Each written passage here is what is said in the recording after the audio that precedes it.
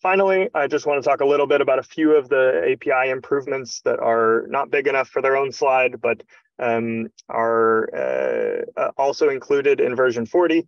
Um, and there are many more of these that are uh, not listed here. You can go to the release notes to find out more. Um, the first of these is a dedicated ping endpoint. So this is useful for um, checking if a service is available, um, if DHIS2 is available. So you can use this ping endpoint from uh, without requiring authentication.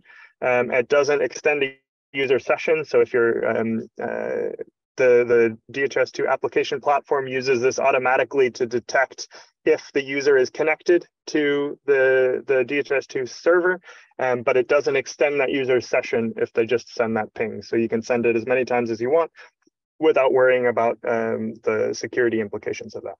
Um, the second feature here is, is a very small one, but system info uh, has been added to the data summary endpoint, which shows you a lot of details about what DHIS2 system you're running and how uh, how many objects are represented in that system. So what are the, the statistics of that uh, DHIS2 instance. So that has now has some more information about the, the version, revision, build time, and system ID of the uh, DHIS2 instance that you're talking to. And then uh, data store uh, information is uh, sharing information is now returned in the data store metadata API.